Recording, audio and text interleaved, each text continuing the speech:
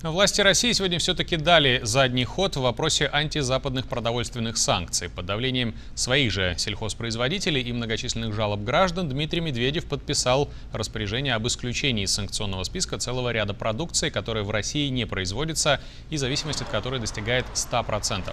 Речь идет о семенах картофеля, лука-севка, сахарной кукурузы и гороха для посева. Кроме того, снят запрет на импорт биологически активных добавок, витаминов, спортивного питания. После жалоб родителей детей-аллергиков из-под санкций выведены безлактозные молочные продукты. Российские производители рыбы, в том числе подконтрольный миллиардеру и другу Путина Геннадию Тимченко холдинг «Русское море», добился снятия запрета на поставки мальков, атлантического лосося и форели. Отметим, что антизападные продуктовые санкции в России уже назвали ударом по собственным гражданам. Росстат зафиксировал мгновенный рост цен на продукты питания.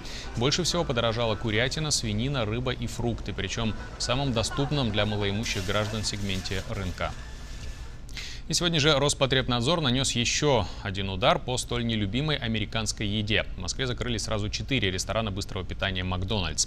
В санитарном ведомстве, впрочем, утверждают, что к санкциям это событие отношения не имеет. Все точки фастфуда прекратили обслуживать клиентов из-за административных нарушений в работе.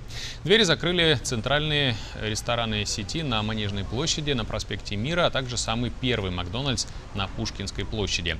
Роспотребнадзор еще в конце июля сообщал о проблемах в отдельном отдельно взятом новгородском ресторане. О столичной сети речь тогда не шла. Напомним, в Макдональдсе в России 430 закусочных, их ежегодная прибыль не раскрывается.